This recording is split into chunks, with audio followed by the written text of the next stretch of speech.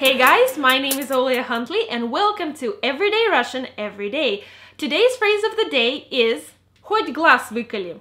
Okay, let's look at the literal translations of each word in this phrase. Хоть means though, глаз is an eye, and выколоть is to poke out. So literally, as you poke an eye out. Ouch. Usually we use this phrase with the word темно, which means dark. We say темно, хоть глаз выколи, which means really, really dark. Total darkness, absolutely nothing is visible. I believe you have phrases as pitch black or pitch dark, so dark that you can't see your hand before your face. Let's look at some examples. На улице было темно, хоть глаз выколи. It was completely dark on the street. Во время урагана было темно, хоть глаз выколи. During the hurricane, it was very dark. Я зашел в комнату, а там хоть глаз выколи. When I entered the room, it was very, very dark. Okay guys, that is it for today. If you want want to practice this phrase, don't forget to leave me your sentence or paragraph down below and I will check it for you. Also, if you have questions or comments, I will be happy to answer them. If you like this video, don't forget to press like and also don't forget to subscribe to our channel. We post Russian videos daily and there's a lot of useful information here. Thank you guys for watching and I will see you tomorrow. Увидимся завтра!